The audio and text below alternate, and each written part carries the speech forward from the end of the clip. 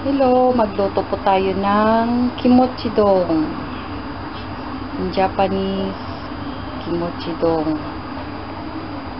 Ito,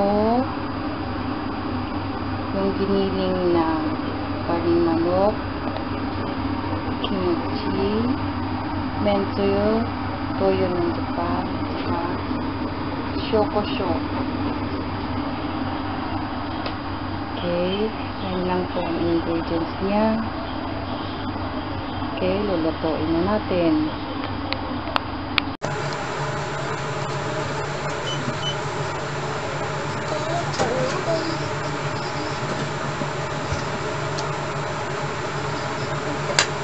Lagyan tayo oil.